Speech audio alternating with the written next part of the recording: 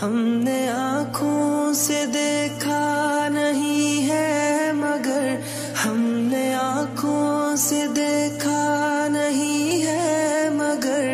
उनकी तस्वीर सीने में मौजूद है जिसने लाकर कला में इलाही दिया जिसने लाकर कला में इला